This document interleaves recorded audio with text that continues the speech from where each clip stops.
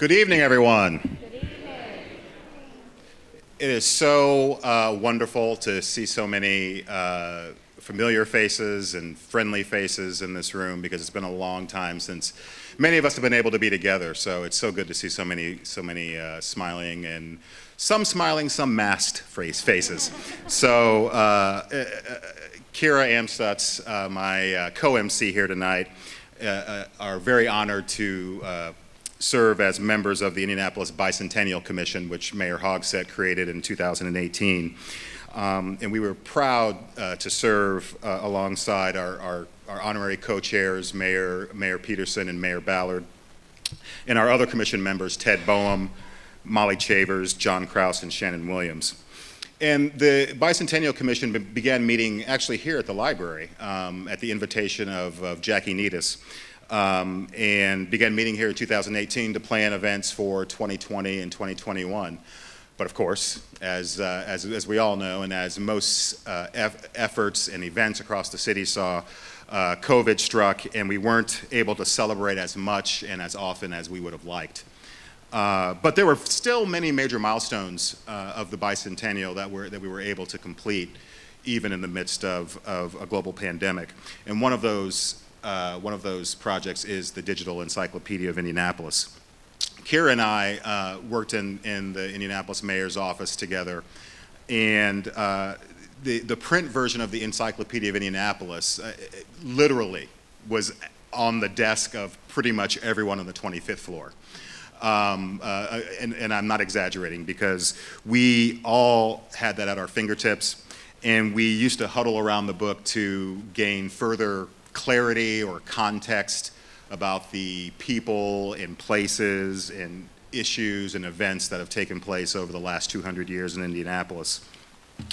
Uh, and the funny thing about time passing, though, is that when we were in the mayor's office back in the early 2000s, that book was less than 10 years old. You know, uh, yeah, I know, and we're aging ourselves, uh, but it was less than 10 years old when we were using it, so it was actually pretty up to date at the time.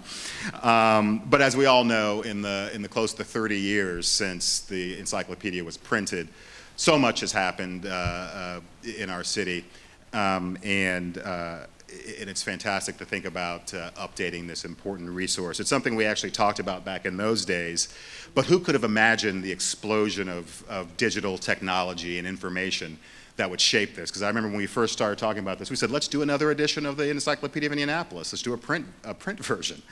And of course, uh, the internet happened and Wikipedia happened and, and things like that happened. So the, the focus of this really changed into a digital encyclopedia of Indianapolis. Uh, and so uh, we're so happy to have all of you here this evening with us, and I'm going to turn it over to my co-host Keira to give a few comments as well. Well, lucky for you all, I'm not giving many comments. I'm giving mostly thanks. So part of uh, Steve's job and my job tonight is to keep the program moving. You have some really terrific folks to hear from who have been very instrumental in this project and also can help us see the potential in the future for this uh, amazing collaborative work. As Steve mentioned, I'm Keira Amstutz. I'm president and CEO of Indiana Humanities. I was a proud member of the Indianapolis Bicentennial Commission. And um, in, my, in, in my opinion, this is in true indie fashion, this project is, is collaborative. It's public, it's private, it's got everything mixed in, and it's been, um, I know for many of you, a, a major passion project over the past few years, and I can't wait for the community to get to see it um, after today. So my thanks uh, before we begin, and before I turn it over to John Helling, is I'd like to thank the founding partners in the project. If you're going to do something this ambitious, you have to have a stable of partners that are ready, able, and willing to help, and these partners were from the beginning.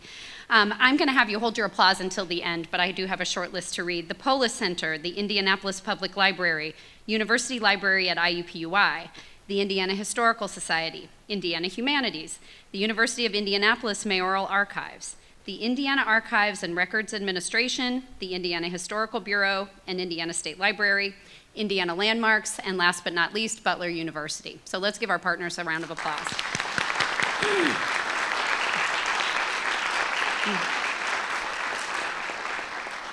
Now, we know that the partnerships will continue to grow over time, so if you're sitting in the audience tonight and you're thinking, wow, I really want to be on board with this, I'm sure that the folks at the library and David can tell you how to continue to be a part of it. Another quick thanks to the major donors. You'll see them in your program, but I think it's important for us to let them know how much we appreciate their support. Lilly Endowment Inc., Allen Whitehill Clowes Charitable Foundation, RB Annis Educational Foundation, the Indianapolis Foundation Library Fund, Nicholas Noyes Jr. Memorial Foundation, Jackie Nytes, and an anonymous donor. So let's give them a round of applause as well.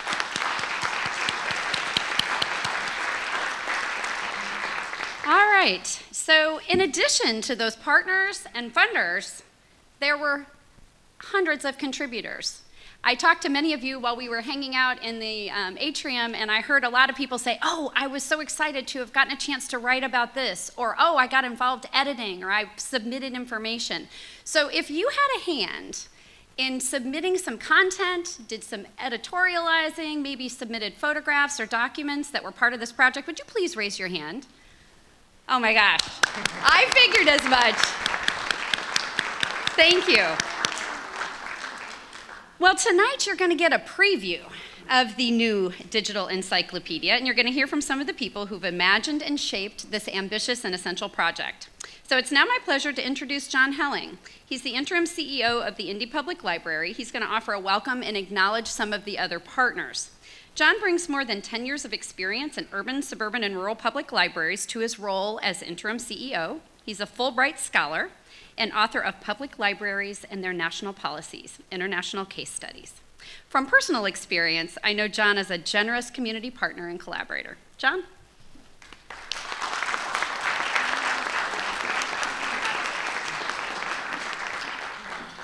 Thank you, Keira.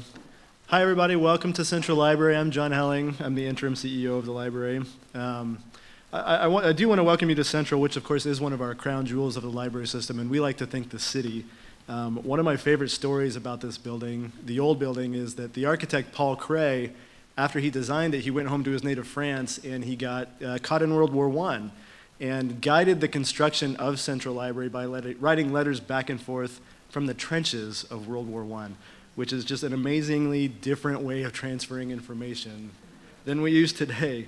Um, and when Evans Woollen uh, designed the addition to Central Library in the 2000s, which is, of course, where we're now sitting, he designed a building that highlighted the original 1917 building, and he said uh, he uh, was building a bridge. Uh, excuse me. He, he was he wanted to honor the past while creating the future. I want to make sure I got that right. Uh, and I personally like to think of it as taking the past with us as we move into the future, which is, of course, the exact goal that the Digital Encyclopedia of Indianapolis has set out to achieve. Um, traditionally, you know, local history has been something that's been very difficult to access you had to go physically to some place like the Indianapolis Special Collections Room up on the sixth floor, or the Historical Society or the State Museum, where you had to look through physical materials. And if you were lucky, there was a bibliography or if there was a finding aid or something like that. But if you, if you didn't have those things, it was just a long, slow, rewarding, but sometimes tedious uh, process. Um, and in moving our local history online, what we're doing is making that history more accessible and also more usable. So, you know, going forward, you'll, you'll access resources like the encyclopedia or the library's many other digital collections with just, with just an internet connection. And we've designed these collections to be searchable in a way that should be familiar to, to anybody who's used a, a resource like Google.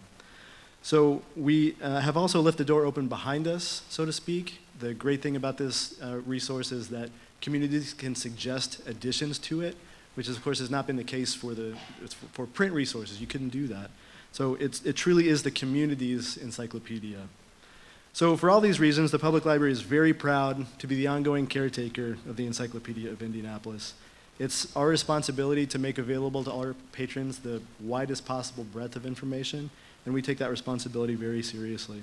So thank you to all of our partners. Thank you to the Polis Center. Thank you to the Lilly Endowment. Thank you to everyone who supported this project and contributed to it. A lot of you are in the room. Thank you, thank you personally.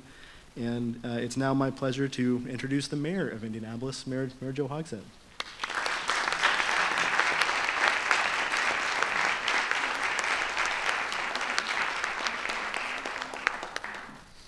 Well, indeed, good evening. And uh, it is Steve, so good to be together again, whether mask or unmask. Um, 27 years have gone by since the original printing and creation of the Encyclopedia of Indianapolis, and it has been a great way to discover more about our city. It has been a critical resource for residents, for visitors, businesses, and I can assure you, even yet today, city officials, you might not think that people still have volume, printed volume of the, of the uh, encyclopedia on their desks, but even yet today, on the 25th floor of the City County building, you will find copies scattered among the offices. How, however, as Steve pointed out in his remarks, Indianapolis has long cried for a second edition of this valuable catalog of notable people, notable places, and notable events. Because whether it's that telltale Bank One logo on the cover,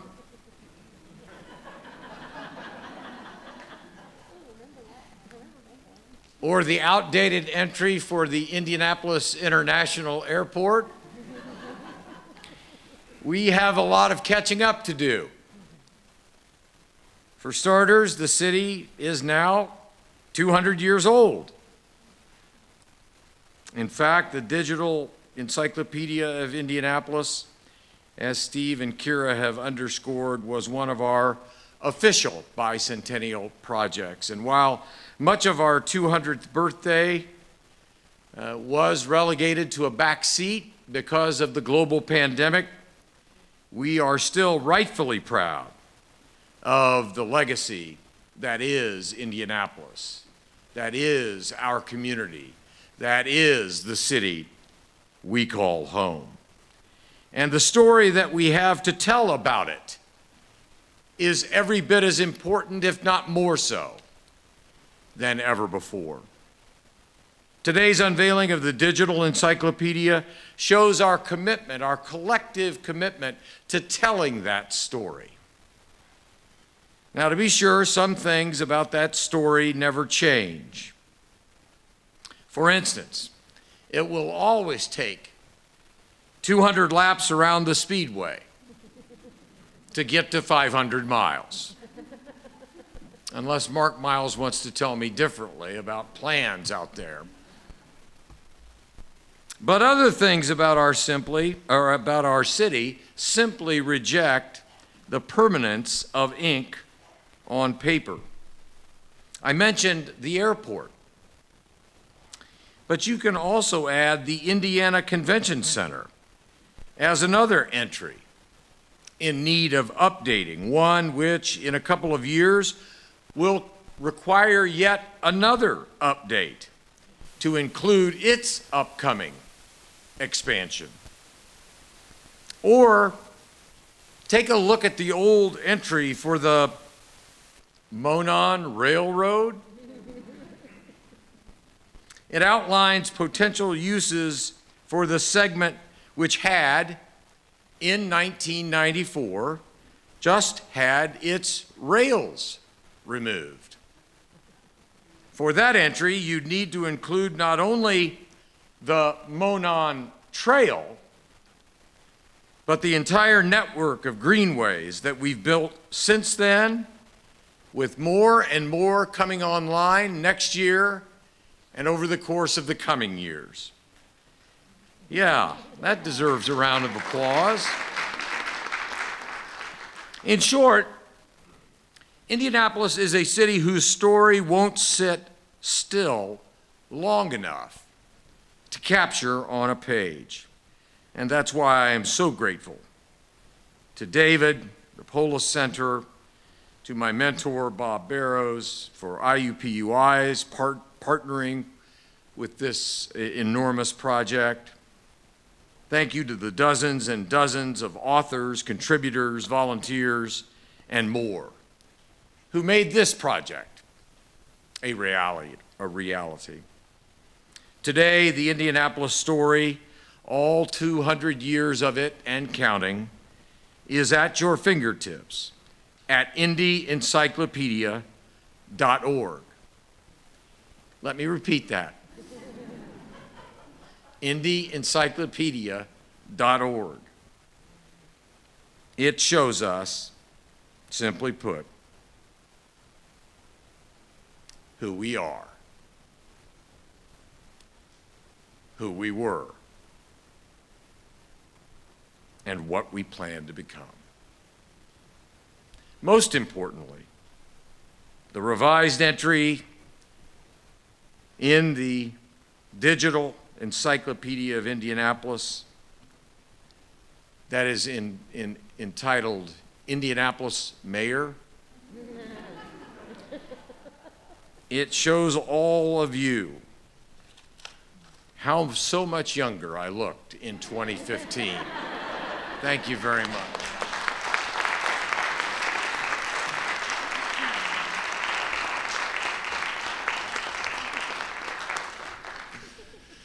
Thank you so much, Mayor, uh, for being here tonight, and thank you for your leadership uh, on this project and on the bicentennial and many other things in our city.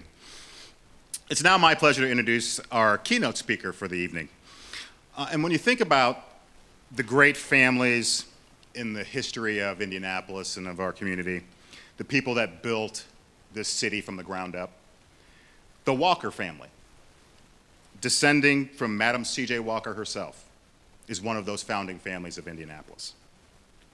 As such, our keynote speaker, A'Lelia Bundles, is no stranger to anyone in this audience or this community. And is someone I've personally looked up to for years, and not just because she went to one of the nation's great high schools, North Central High School, go and see. Um, but Lelia had a trailblazing and award-winning professional career in her own right as a journalist, a producer, an author, but we also know her as the great-great-granddaughter of Madam Walker herself. She has kept her family's legacy in our city and country alive and has used Madam Walker's story to show Indianapolis residents just what is possible when intelligence and compassion and commitment and hard work and the ability to overcome adversity all coalesce into one person in one moment in time. In fact, her book, On Her Own Ground, The Life and Times of Madam C.J. Walker, was the inspiration for Self The four-part Netflix series starring Oscar winner Octavia Spencer that premiered last year.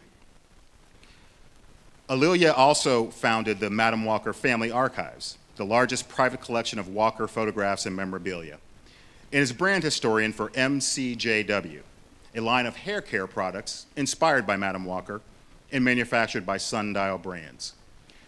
So in sharing Madam Walker's story as, as A'Lelia has done so, so often uh, and, and, for so many years, in telling her story, she's actually telling the story of Indianapolis. Uh, and, and a story of Indianapolis that, that many still don't know and still haven't heard of. So we're so happy that she could join us tonight virtually. So please welcome our keynote speaker, A'Lelia Bundles.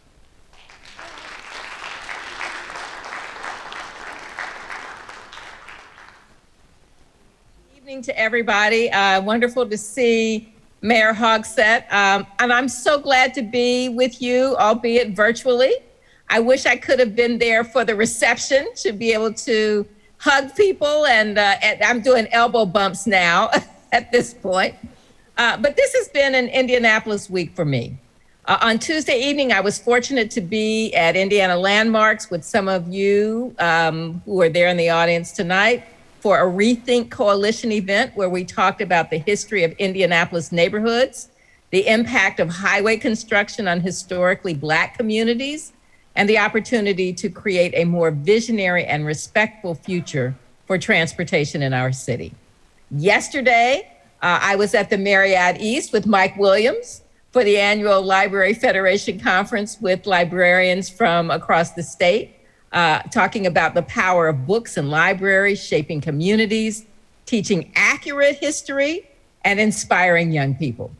A few weeks ago, I was actually there in person at the library with Nichelle Hayes to celebrate the fourth anniversary of the Center for Black Literature and Culture. So, having a chance to be a part of tonight's launch of the new Digital Encyclopedia of Indianapolis seems an appropriate way to continue collaborating with those of you who are raising awareness about the people who built Indianapolis and about the institutions that sustain us. Knowing the details of our history provides a foundation and a grounding for fashioning our future. As John Helling said about the design of the library, we are honoring our past while shaping our future. Like Mayor Hogsett, I still have my 1994 copy of the original two and a half inch thick Encyclopedia of Indianapolis. I was very proud to have been invited to contribute the essay about Madam Walker, but I'm especially grateful to all the writers and scholars whose entries on everything from the Senate Avenue YMCA and newspaper publisher George Knox to Monument Circle and the interurban trains provided information I needed when I was researching and writing the chapters about Indianapolis for my Madam Walker biographies. But the digital encyclopedia of Indianapolis is a game changer, not just for those of us who do research for our books. Even more important, it will be an easily accessible resource for students who are writing reports and who are trying to find out how they and their families fit into the fabric of the city. It will provide longtime residents of Indianapolis with facts about the corporations and organizations and institutions where they work, worship, and play. And it will introduce newcomers to the rich history of the city. I wish I'd had this resource when I was in school in Washington Township in the 1960s. Let me say that I received an excellent education at Grandview Elementary School, at West Lane Junior High School, and yes, Steve, at North Central High School. But my high school history textbook gave a very inaccurate portrayal of American history when it came to Black people in America. When Negroes were mentioned at all, it was within the context of slavery. It makes me cringe now when I reread the textbook, which I actually have, that says enslaved people were contented and rarely treated cruelly and were better off enslaved because they were clothed and fed. I'm happy to say that the Digital Encyclopedia of Indianapolis deals in truth rather than fantasy. Thankfully, the Digital Encyclopedia does a much better job of telling the story of Indianapolis with accurate information about communities that included members of my family and that includes the wide range of people who built the city. Young people can now learn these stories on their own. There are so many possibilities with the encyclopedia. I'm thinking that there should be a link on the website of Visit Indiana, Visit Indy, the Chamber of Commerce, and the Economic Club of Indiana. It could be so, if I can be so bold, I'd suggest that it be included in the orientation packets for all new students at IUPUI, the University of Indianapolis, and Martin University, for all history classes in Indianapolis and the surrounding communities, for all new employees at Eli Lilly, Cummins Engine, Salesforce, Ice Miller and Taft, and the other major law firms. I very much appreciated the opportunity to be a part of the Digital Encyclopedia's Civic Advisory Committee, a group of almost 100 stakeholders who represent the rich diversity of the city. I asked Mike Williams to highlight some of the people who have made particularly meaningful contributions, and he mentioned Gurinder Hall, CEO of the Immigrant Welcome Center, who was born in New Delhi and who has her finger on the pulse of immigrant communities in Indianapolis. Jordan Ryan, an architectural historian whose work on redlining and community development has helped us understand the political forces that inform our current reality. And Dr. Edward Curtis IV for his work on the long and significant history of Indianapolis's Muslim community.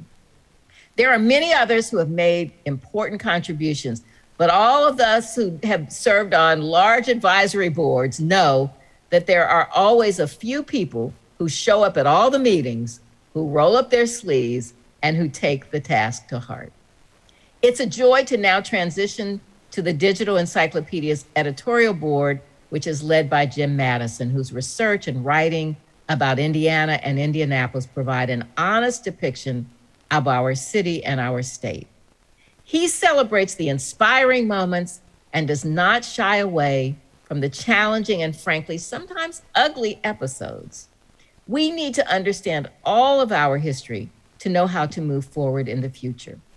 When I spoke with Jim a few days ago, we talked about the dedication of the members of the editorial board as people who bring expertise as scholars, journalists, authors, and community leaders. People who are devoted to accuracy, to facts, and to creating an inclusive telling of our city's organizations, institutions, and civic leaders. The editorial board welcomes community involvement because we know that the encyclopedia is only as strong as the accurate and credible information it provides. And finally, Mike Williams asked me to talk a bit about placemaking.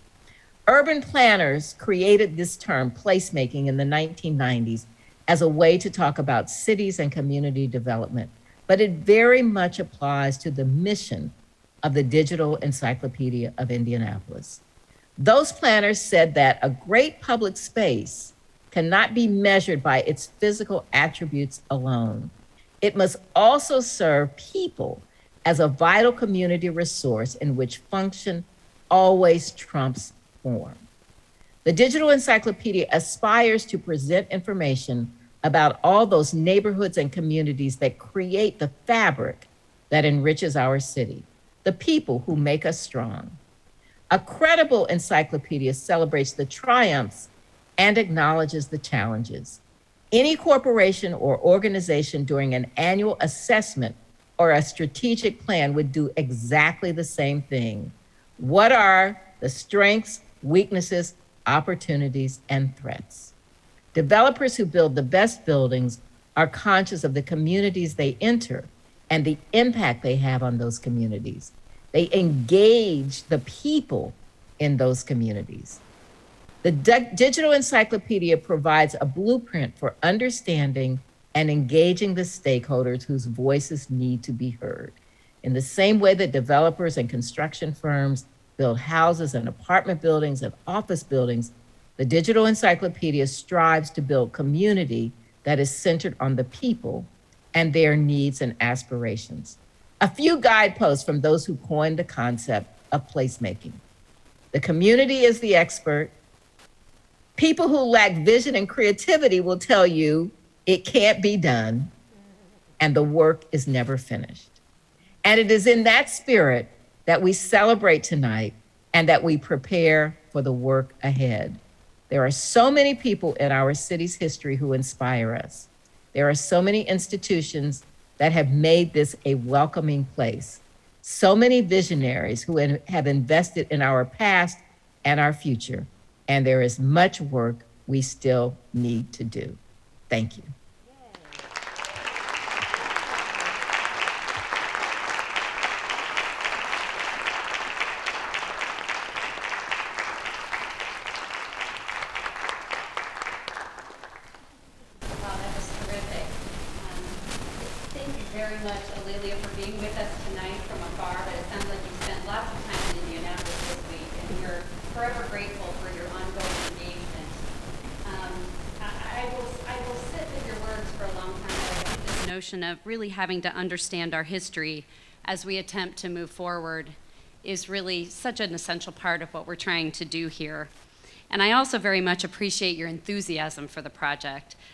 I think you've helped really paint a picture of the many, many uses, the many voices, and also you've helped express the appreciation I know I feel, and I think everyone who's up here on stage tonight feels for all of you who played a role in getting these stories told.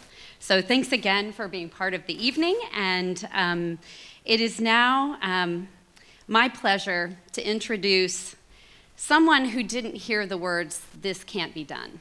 This was a big project and it took someone who was willing to take on a big project to get us to where we are today.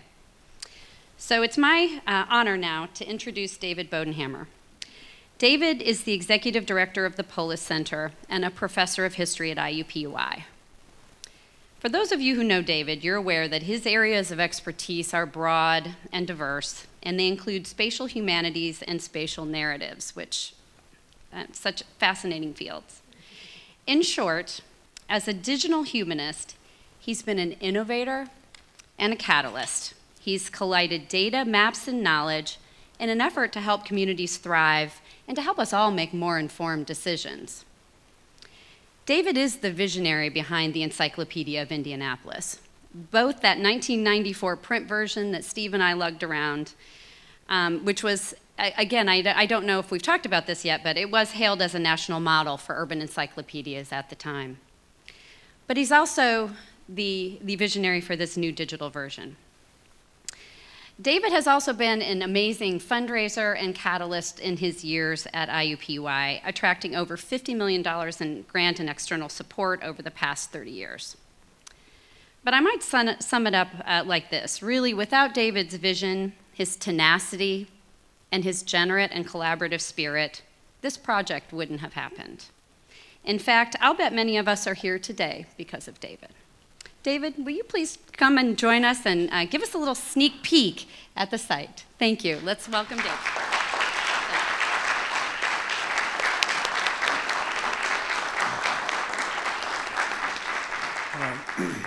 Thank you, Keira, for those undeserved words of praise. I don't. I, the, the praise actually belongs to everyone who is in this room, and hundreds of people more because this encyclopedia, digital version of the encyclopedia, or even the first version, would not have occurred without the significant contributions from members of this community who gave their knowledge so that, so that we can share it, so that we can learn from it, and so that we can act on it. You know, when we did unveil the print version of the encyclopedia about this time, 29 or so years ago, over at IUPUI, uh, Bob Barrows and I, Bob was the co-editor of that volume, uh, I, I remarked to Bob two things. One, I am glad this is over. and secondly, I will never do anything like this again. well, I've obviously lived long, too long to, uh, to, I should know better than that. But uh, I've done this one and I wanted to do this one because of two things, at least two things. One is I'm always convinced that Indianapolis has a wealth of talented people, people who have created the history of this community, and their stories and their knowledge needs to be part of who we are. It needs to inspire us, it needs to shape uh, our understanding of our own selves and what we can do as a community. But the second thing is that a project like this is a uniquely collaborative project. It cannot be done by one individual. It cannot be done even by a small group of individuals. It takes the cooperation of institutions and individuals working together to learn from each other to create something that is special. I think and I hope when you see this tonight that you too will agree that what we have here is a special resource. But it's done because you have supported it and you have contributed to it. And for that, I am incredibly and eternally grateful. Uh, there are some people I want to recognize uh, who uh, Keira and Steve have named the people who and institutions who are important in funding the project the institutions who were the collaborating partners in the project. And when we say collaborating partners, it doesn't mean that we just gathered around a table and talked about and then planned something. It means that they have created on their own and for their own institutional purposes digital archives that they open to us. And what is truly innovative about this product you're going to see is that they have made it possible for us to go in and reach and grab that content when we need it and to display that content in association with other content for that subject. And then when people want to explore more about it, we can direct them back to the institution from which the content came. That is creating a, a, a network of digital information that will continue to grow over time and continue to inform our efforts. But beyond those collaborating partners, which served as a steering committee, and beyond the Civic Advisory Committee, uh, co chaired by Sarah Evans Barker and by Rick Fuson and by Lacy Johnson, uh, and where, uh, where there were 75 members of this community who served this particular purpose, we have an incredible staff uh, that we were able to develop for this. The editorial staff, managing editor Beth Van Allen, associate managing editor Jyoti Verurami, and Jess Fisher, who is our image editor. I'm sure, I know they're here. If they could just kind of raise their hand or stand up, I would appreciate that. So you could give them a hand.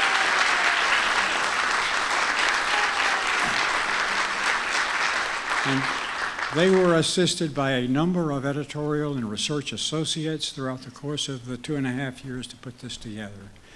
The, in addition, we had a great technical team at the Polis Center, uh, headed by Neil Devadasan, who cannot be here tonight. He's our systems engineer. Uh, but Matt Nowlin and Skip Comer, who you're going to meet in just a moment, were the ones who were responsible for the design and the implementation but an entire group of technical folks at the Polis Center were continually working on this to make this an innovative technical project and not just an innovative digital encyclopedia.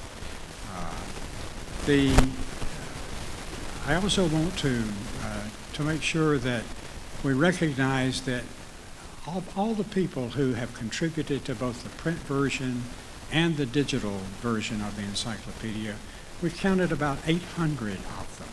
800 people who were involved intimately in the creation of content for this.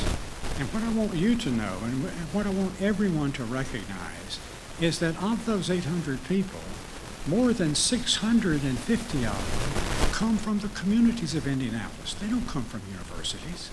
They don't come, these are not scholars. They're people whose knowledge they ha- who, who have an expertise that they have gained from their experience and from their passion for a subject. Reminds me that Will Rogers was right when he says, you know, we're all ignorant, just in different subjects. But, but what they have been willing to do is to share their knowledge with us through this particular thing. For that, I'm grateful. I'd like to, to call Matt Nowlin and Skip Comer up here, though. They're going to be your drivers uh, through the encyclopedia. Matt has been our information designer and user experience uh, designer, and Skip has been the person who is responsible for the WordPress expression that you see on the screen. Gentlemen?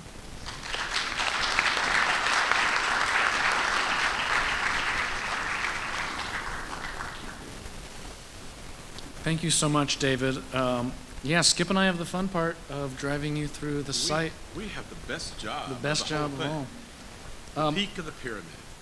David said we worked on this continuously, and he's not wrong. If Skip, if Skip falls asleep, it's because he was up till four in the morning finishing some things. So It's true. I don't think he will, though. Um, okay, so first we wanted to show you just sort of what's in the encyclopedia. Um, we know, of course, there are the 1,600 entries that were in the, the book, um, you know, 20, 25 years ago. Um, those are, um, to, amended to that are um, hundreds of new entries, and these entries include um, discussions on people, places, events, organizations, and topics. And then added to that are things that are really only possible um, in this rich expression of the digital environment. So, for example, um, timelines. We have a timeline of the history of Indianapolis, and we'll take a look at that soon. A timeline about the COVID 19 pandemic, um, which we might not need to reference right now. It's fresh in our memory. But eventually, those kind of um, current resources are going to be um, really priceless to the community, you know, 25, 50 years from now as this lives on. Um, and finally, You know, you know, we should put something on the timeline about how we met some of our collaborators for the first time tonight. yeah, absolutely. This has been a two-year Zoom meeting. And finally, we have an atlas, um, which takes a, uh, fascinating and deep dive look at our community from a lot of different angles that we don't normally uh, view it from. So we'll get into all that in more detail. Um, let me reopen my notes here. So I should have apparently started this with a look at the North Central High School entry, but I'm going to search for Crispus Attucks High School.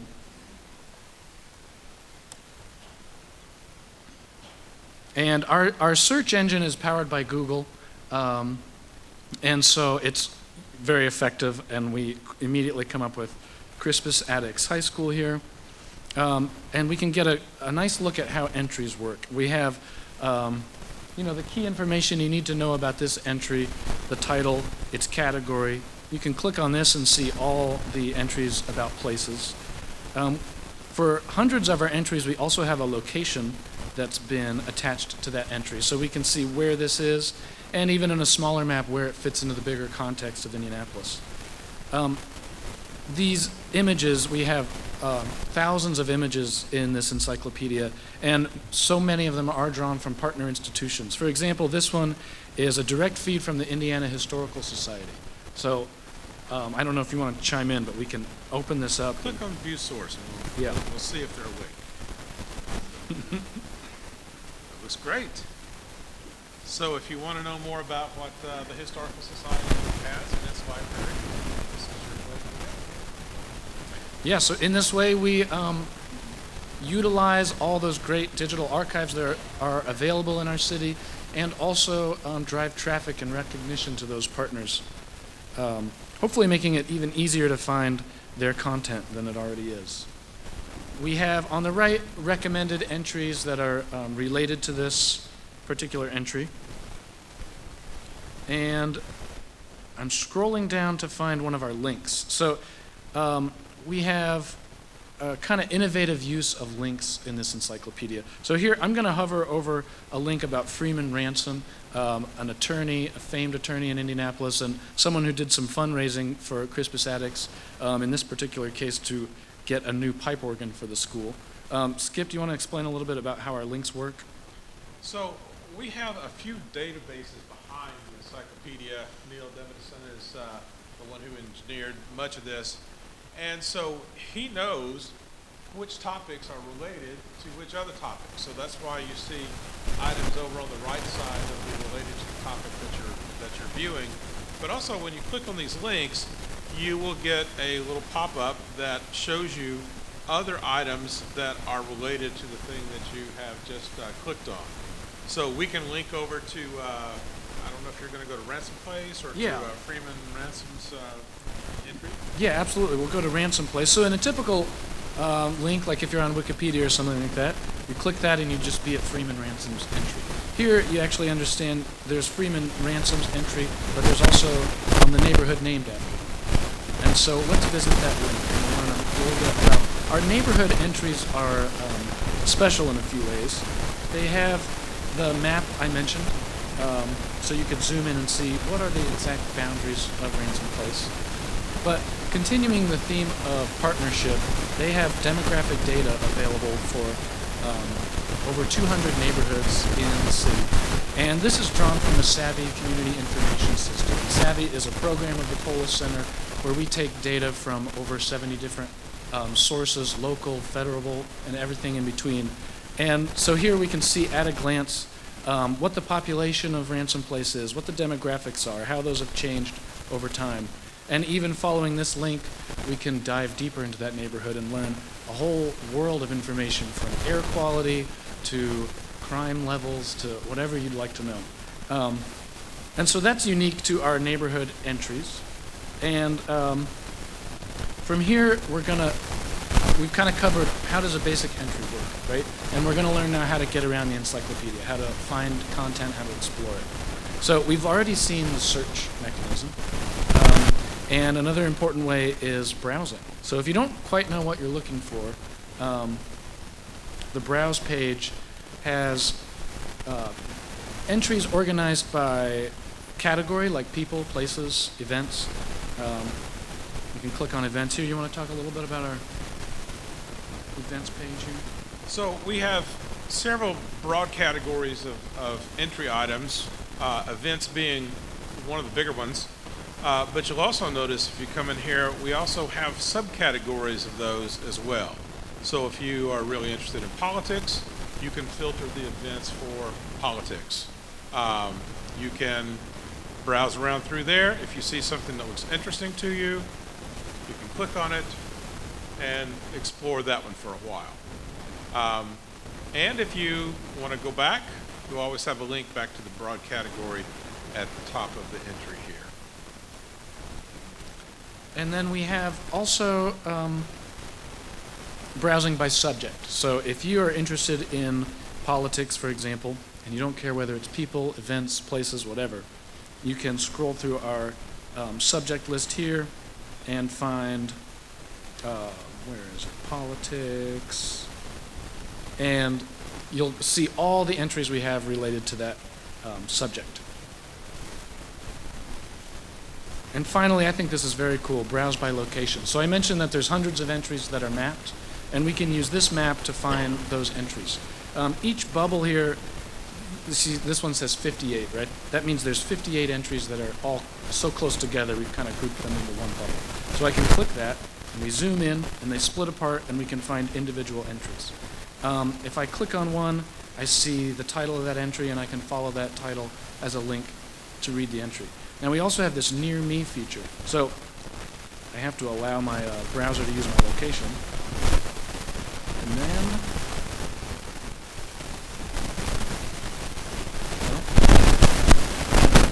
so we have, well, was I already there? already where, you I see. I am have to be where I am. somewhere where you're not. That makes, that makes a lot of sense. So, That's why we needed this like. Um, when, so now I see the entries near the library, and when I click on this pin, I see the Indiana World War Memorial Plaza. Um, I want to visit this entry to look at a, a nice way we've connected um, to some of our other kinds of content. So we've looked at entries a lot, but I mentioned we also have timelines, atlases, and features. And so the Indiana World War Memorial Plaza entry um, has a link to, we have a ton of great information in the entry here, but we also have a feature about this topic. And a feature is like a deep dive, long form essay um, with a rich history about a particular subject. And these are highly interactive. So, here, for example, in the World War Memorial, um, I personally, uh, as somebody who grew up in Indiana, took for granted like the World War Memorial probably always looked that way. It looks real old. And so, uh, Always did. yeah, exactly. this is a cool map where you can look at the difference between um, the buildings that were existing in 1916 in the plaza and um, the buildings that exist there now. And so those kind of interactive features are um, all throughout these features. So, for example, we also have like a digital walking tour of those historic buildings that were, uh, many of them torn down to make way for the um, the memorial. And the Memorial Plaza is one entry we have. We have four others. Um, go here. Back out to features. Oh, I should mention too, um, we have the ability to download these features as a PDF. And sometimes those PDFs are even um, more in-depth than the online version if you need uh, more information. So we have four features published right now.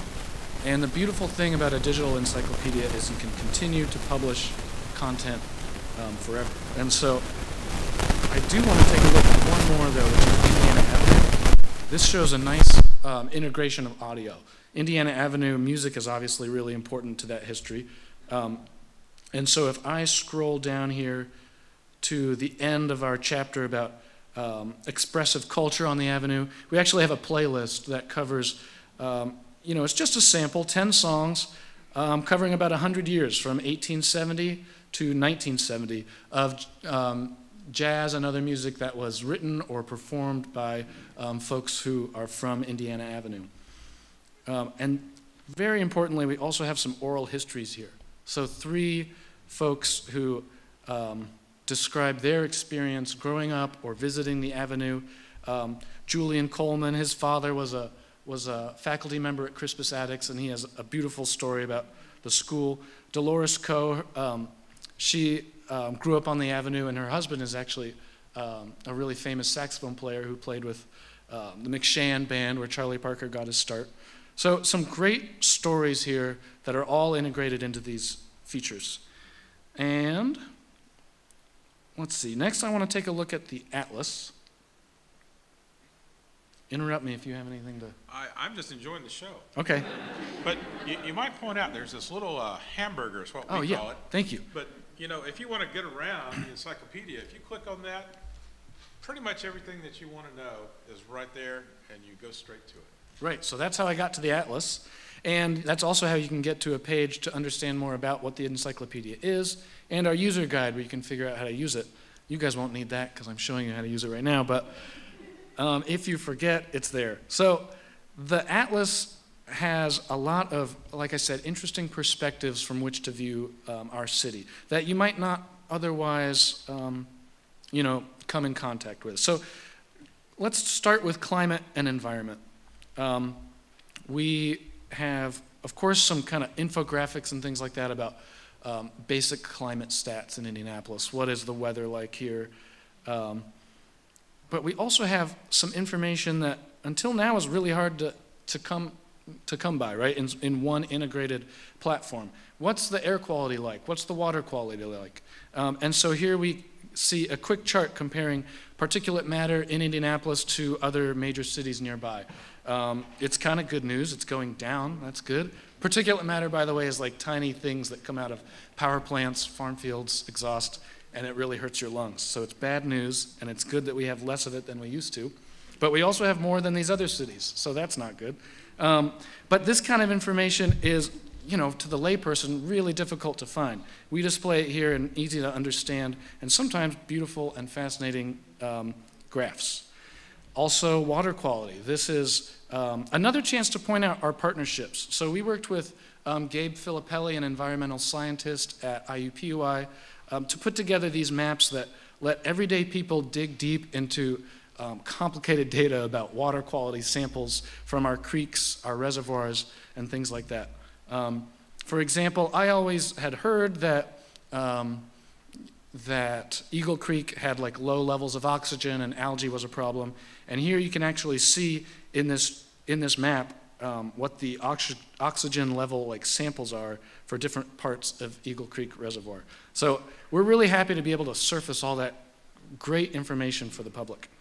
Um, we have, this was just one topic, right? And if you want to view more, you can sort of turn the page, digitally speaking.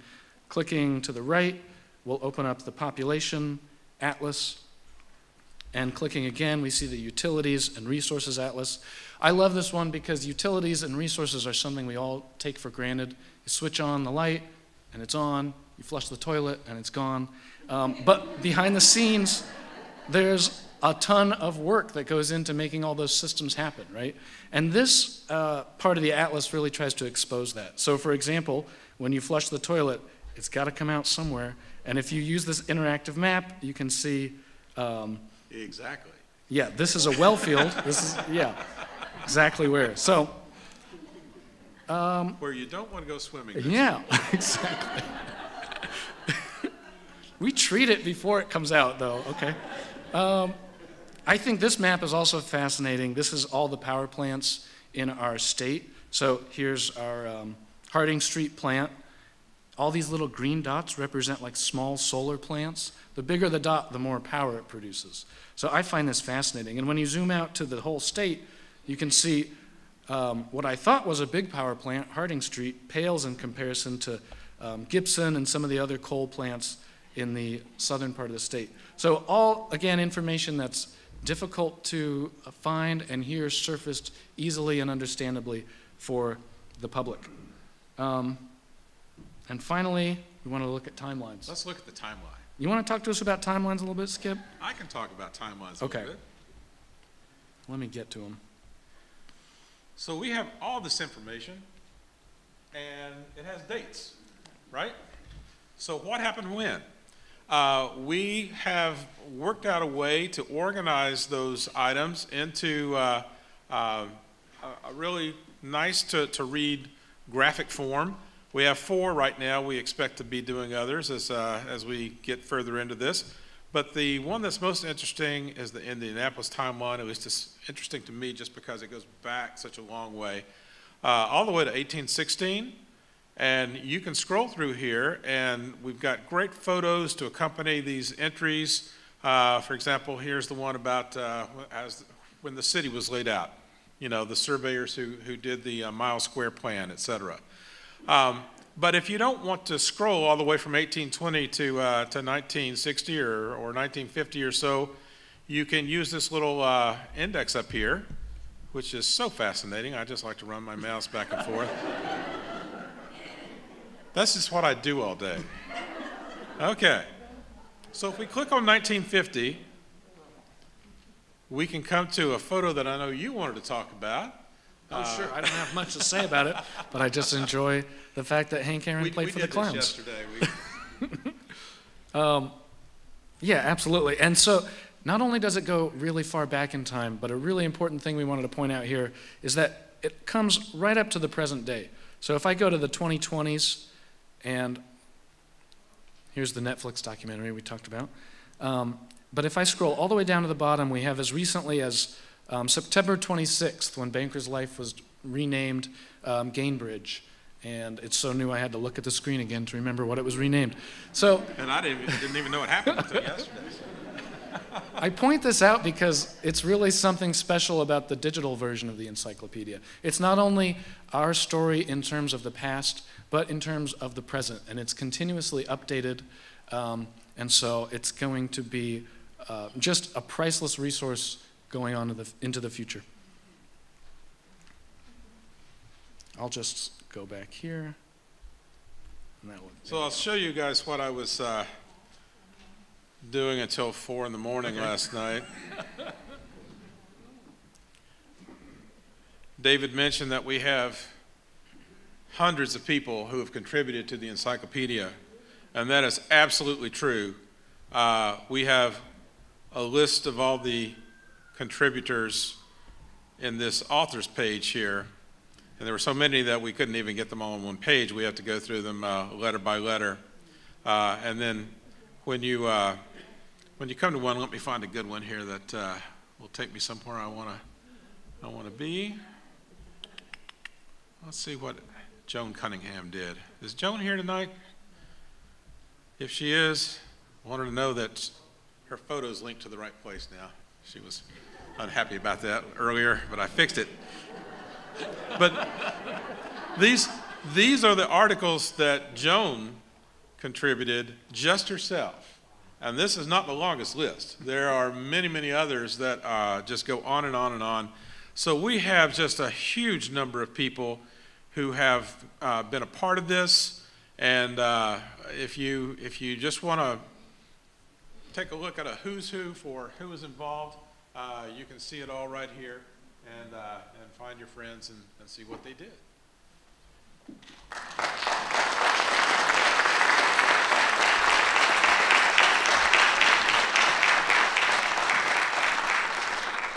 Remind me, I'm going to contact my agent. You guys need to go on the road. well, thank you very much. Yeah, one of the things that they did not point out that I'm sure you saw on the screen was a box on every entry that says contribute. And this means that if you spot an error, and yes, there are going to be errors in this, if you see something, an entry that you know is not as fully described as it should be, you click on that box. It takes you to a form where you can fill it out. It goes directly to the editorial team. The editorial team will look at that, respond to you immediately, ask you perhaps for more information. But this is a way we have of trying to keep this encyclopedia fresh. You may suggest new topics, but this is a, this is a launch party. This means that we're beginning a journey, not ending a journey. And to help us understand what that journey is likely to mean for the city, I'm delighted to uh, welcome and to introduce Sarah, uh, Honorable uh, Sarah Evans Barker, uh, our, one of our co-chairs of the Civic Advisory Committee. She needs no introduction. We have known Sarah for a long time. She's been instrumental and a, major leader in this city for as long as I've been here, and I'm sure longer. Sarah?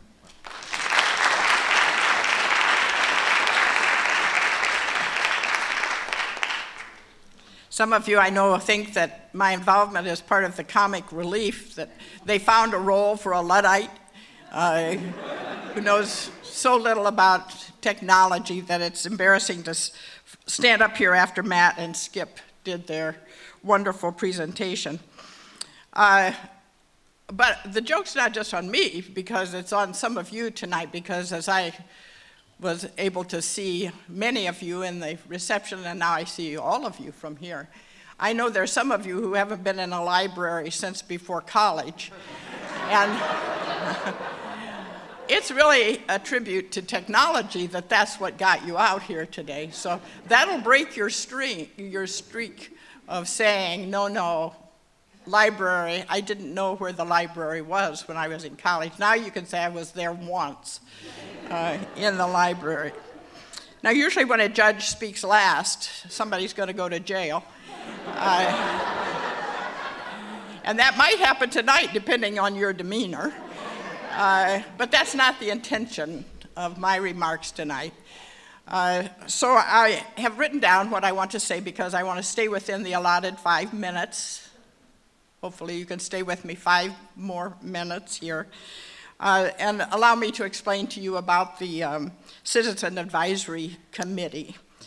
My role is to speak briefly about the Citizen Advisory Committee, which, along with Rick Fuson, who's here, over here someplace, uh, and Lacy Johnson, uh, the three of us were honored to co chair uh, this project. Uh, others uh, have mentioned the Citizens Advisory Committee, David in particular. Uh, and the work that we did, the work that we oversaw in getting the encyclopedia updated and relaunched. So I'm not going to repeat all those particulars of our work, but I do want to say this that it was really a great pleasure, a unique pleasure for me to work uh, with such an astute and civic minded group of community leaders, those people whose names were uh, listed up here by Matt and Skip.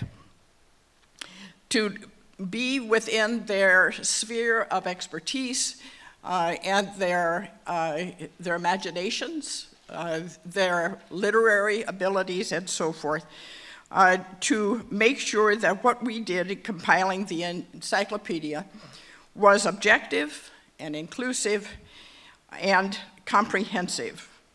So when you have a chance to review the end product, I'm confident that you'll find that there's convincing evidence uh, that the committee was successful uh, in our work. So Rick and Lacy and I want to add our thanks to each of these people who have participated so fulsomely and give our kudos as well to David Bodenhamer and to Jackie Nytes, who gave such extraordinary leadership. So my remarks this evening are to highlight uh, the fact that what has been created and is what is being inaugurated here this evening is truly the city's encyclopedia. It's a gift. It's a gift we're giving to all of our citizens. We give it with the intent that it serve all and that it be viewed by all as belonging to all. You'll get a fuller sense of the scope of this project when you consider as well its ennobling purpose, which is, on an ongoing and perpetual basis, to collect and recount the stories that have made and continue to make us who we are as a city, to record our sentinel events occurring within our community, community that have shaped our identity and borne the weight of our progress, and to remember and to honor and to hold up as examples those remarkable people, those hundreds, those thousands of remarkable people whose investments of time and talent and energy and imagination, their resources, and their affection. They have led us in the past and they still inspire us today and infuse our life together. Winston Churchill observed that the farther you can look back, the farther you can look forward. That means that the knowledge of what we have been in the past helps us divine who we are now and determine what we can become in the future. Just exactly what our mayor said this evening. Maintaining this backward, forward perspective is the obligation and the opportunity that is extended to our entire community, each one of us. It is a process which should engage each citizen. And it makes of each citizen a stakeholder as well as a storyteller. So the primary purpose, the primary purpose of the Encyclopedia of Indianapolis, as the Citizen Advisory Committee came to see from our uh, close in, firsthand, uh, front row perspective, and a perspective that we hope that others will see and appreciate as well in accessing the many resources of the encyclopedia. What we came to see is that the purpose must be to facilitate the process of looking back and looking forward for the benefit of all of our citizens. That's the purpose of this project. So, if the encyclopedia manages to deliver on this promise, here's how we'll be able to measure success. Here's our accountability measure. This is how we'll know. Besides collecting and celebrating our remarkable past, the process of gathering in and retelling our history in the context of the encyclopedia will sharpen our collective focus as to the issues that we face going forward as a city. It will help us identify our best assets and encourage us to devise new ways to deploy them. It will develop a mutuality of interests among us and for us on which we can build a new set of community structures with expanded and enriching opportunities for progress. It will strengthen our resolve to address our shortcomings, and we have those. Part of what we said to each other in this process is we have to be honest about who we are and where we are and where we're going. So, this process will help strengthen our resolve to address our shortcomings and our failures with candor and with devotion and with solidarity. And it will inspire us towards greater levels of individual fulfillment, of education, of economic and educational and scientific and industrial and cultural attainment, and instill in all our efforts, in all of our efforts, a deeper sense of fairness and equity and justice for all as we seek to shape and refine our ever evolving sense of identity. The highest and best use of the encyclopedia of Indianapolis will be achieved when it is able to help all our people understand and appreciate who we are, why we are the way we are, and who we want to be together. In the eloquent words of the author Joan Didion, I thought in the library I should come up with an author. so I'm using Joan, Joan Didion's words, but it's as if she wrote them for us. I was thrilled to find them. See what you think. Her words underscore the importance of what the digital launch of this newly revised version of Indianapolis's autobiography, you might say, represents. Here are Joan Didion's words. She says, A place, meaning a place like our city, a place like Indianapolis, belongs forever to whoever claims it hardest, remembers it most obsessively, wrenches it from itself, shapes it, renders it, loves it so radically that he remakes it in his own image. Oh, Joan. So maybe each, each of us take Joan's words as our own mission statement and do all that we can to claim hard this place, this place that we call home. May we remember it obsessively. May we wrench it and shape it and render it and love it, always love it.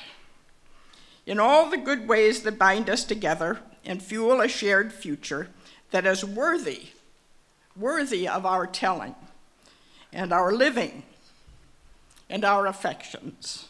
I have every confidence that this newly compiled Digital Encyclopedia of Indianapolis will enhance our journey together. It's something we've done that's good. So you may be proud of it, as I am.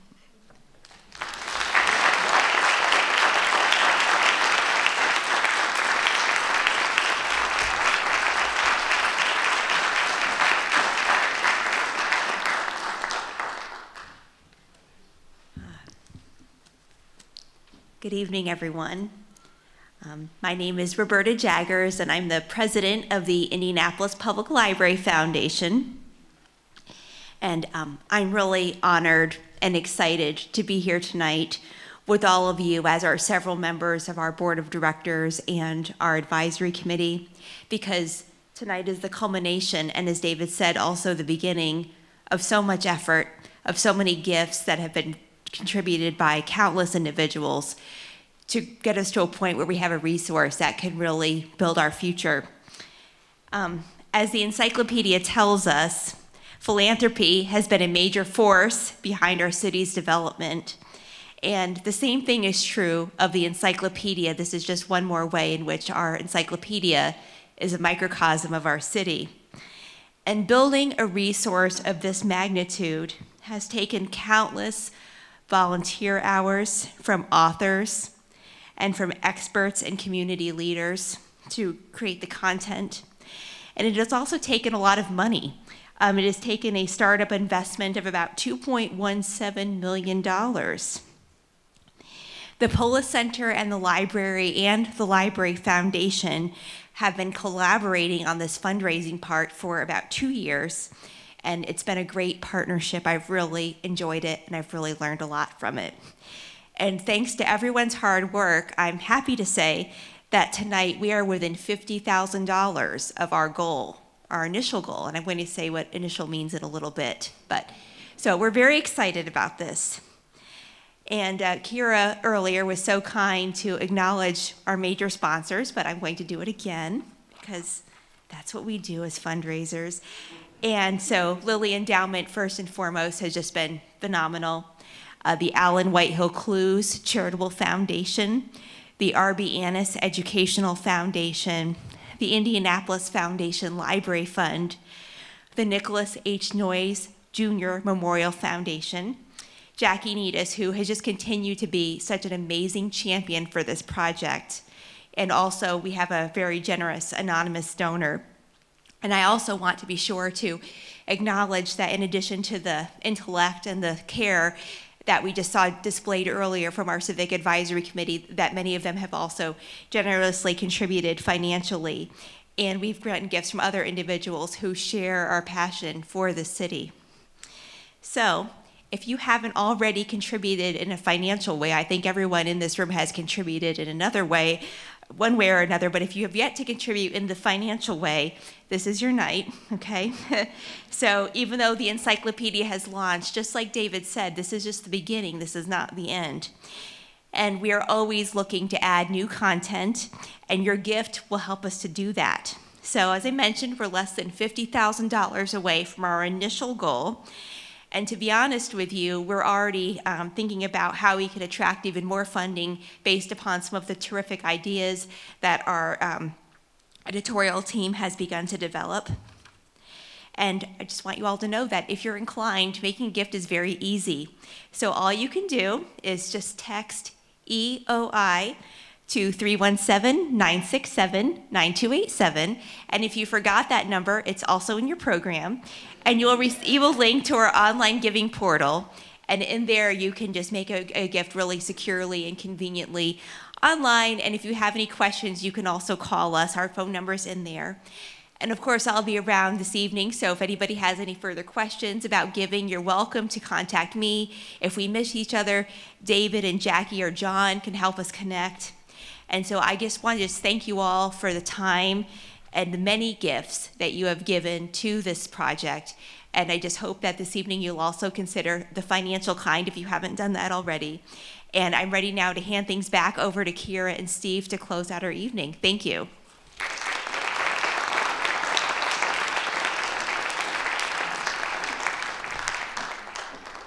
Thanks, Roberta.